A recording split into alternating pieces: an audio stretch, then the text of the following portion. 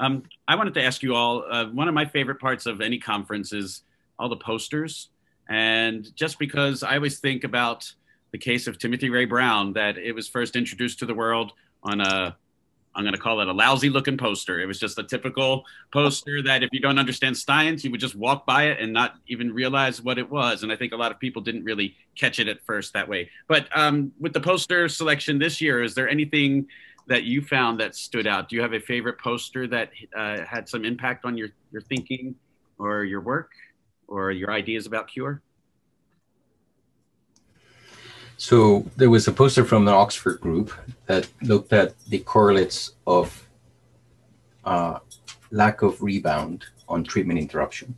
And, and there was actually quite a bit on this theme in the conference as well, as far as biomarkers and, and, and, and products that could be measured that would be predictive of what would happen. And um, so they basically described that if you have a particular gene signature, that you would have a predicted longer period of uh, lack of viral return. So that's kind of cool.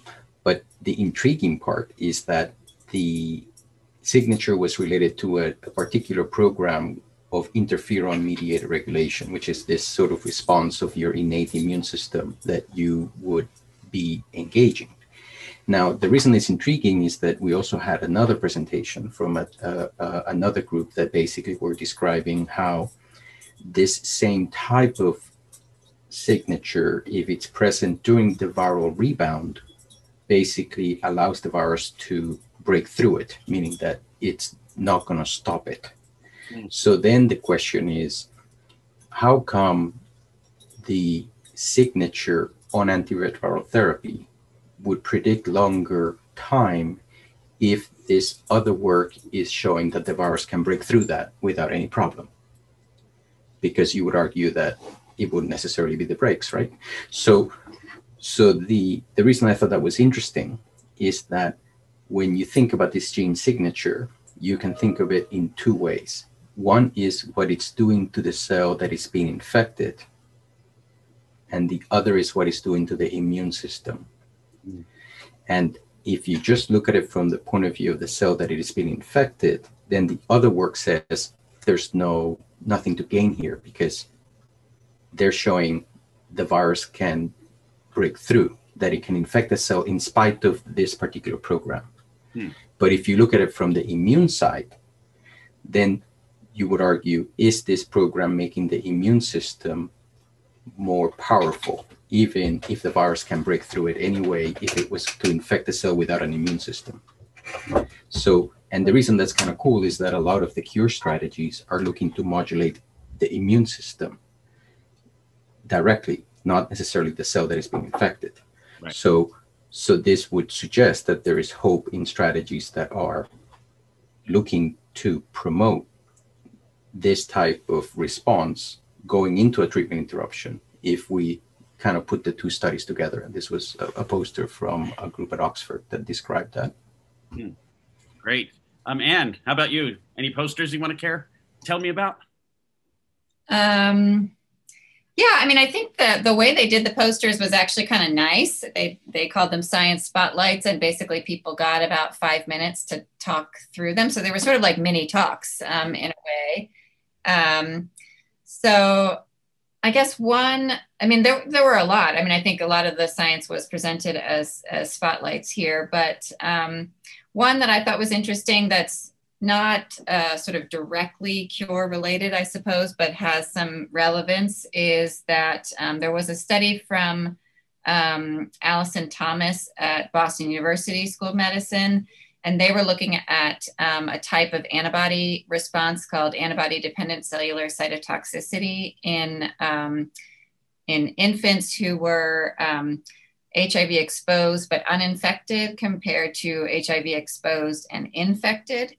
Um, and they found that the uninfected infants had much higher levels of um, anti- a, this ADCC activity uh, than the infected infants. Now, of course, they can't prove that having higher levels of ADCC um, protected those uninfected infants, but it's kind of intriguing. Um, and the they then for the babies who were infected, they segregated them into those that had high ADCC and those that had low ADCC. And the ones that had the higher levels had um, kind of better outcomes, so fewer kind of adverse events and, and less death um, was associated. And these are kind of old samples that were stored from the what's something called the BAN study that was actually looking at kind of breastfeeding um, in terms of transmission. But that was interesting because um, it, we have a study from my group that was um, presented as a uh, partially presented as an oral abstract and then partially presented as a science spotlight where we have a group of um, infant rhesus macaques that were infected with um, simian human immunodeficiency virus and they we infected them at multiple different time points or no we infected them sort of around four weeks of age and then we started antiretroviral therapy at multiple different time points. So uh, very early, just within a few days after infection, a couple of weeks after infection, and then two months after infection. And so there was no additional intervention. The idea was to kind of um, treat them for a year and then interrupt therapy and allow for rebound to occur so, so that we could have um, varying times to rebound, varying post treatment control, and could try to generate and like sort of a whole uh, biomarker stew that we could use to predict sort of what are those rebound characteristics. And the whole uh, idea of this is that you could use um, the, inf- the information that we're getting from the non human primate model to try to inform when it would be safe and appropriate to do treatment interruption in children um, mm-hmm. in your trial. So that's the whole idea behind the study in the first place. And but one of the things that we found, and it's just an N of one monkey for now, so it's not something that you know we are you know we need to definitely see if it's if it's relevant in other cohorts. But we had one animal that uh, did not rebound.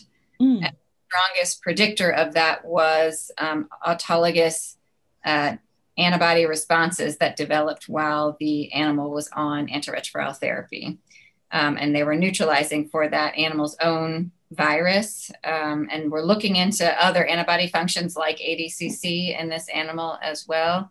So it seems like maybe the humoral immunity is playing a role. Um, and and that's been so there's some other evidence i think from janet siliciano presented at uh, the strategies for a cure meeting um, some information about autologous neutralizing antibodies and, and their role in, in rebound as well so that's sort of um, something that we're pursuing no, that's great. Yeah. Um, and uh, Mark, I see that you have your hand raised, um, but I wanted to give Lewis a chance to respond to my poster question first. So if you could hold tight, we'll get Lewis to talk, and then Mark will get your question. Okay. So Lewis, Oh, I did. I, I told about oh, the Oxford Oxford oh, poster. Brad, I'm sorry. Brad, Brad it's you.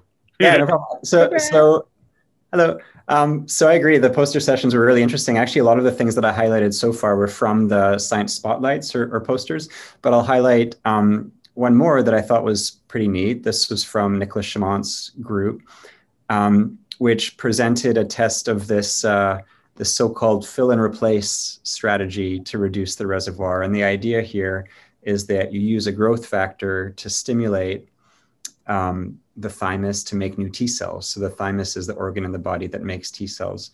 So you can just essentially, the idea is make new T cells. They're not infected. They don't have a reservoir. And this just kind of pushes the other the other uh, T cells out of the way over, over time. Mm. And uh, so they report that when they give this, this was a, a, a, trial, a clinical trial, they report that when they, they give this growth factor, they do see evidence for an increase in new T cells.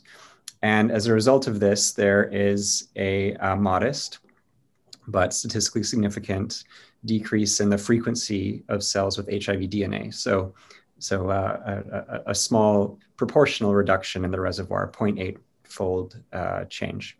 So I think you know early early days for this strategy, but uh, kind of neat and something to uh, keep an eye on. Wow, that's cool. Thank you. And uh, if you didn't see in the chat there, Richard Jefferys was informing us that the CROI conference has trademarked Science Spotlights. Hmm. I know that's uh, interesting news. I just thought that would, I would point that out to people if they hadn't seen it.